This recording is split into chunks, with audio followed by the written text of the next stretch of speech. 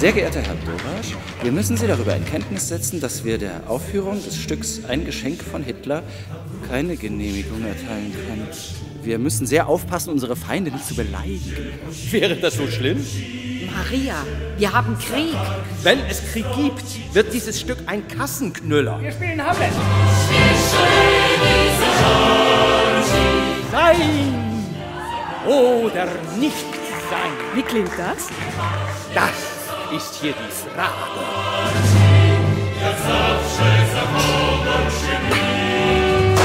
Sie haben alle Juden aus den Häusern getrieben. Wenn ihr uns vergiftet, sterben wir nicht? Ich habe ständig an dich gedacht. Und ich habe dir so viel zu sagen. Die Leiche gefunden! Sie werden der größte Filmstar Europas.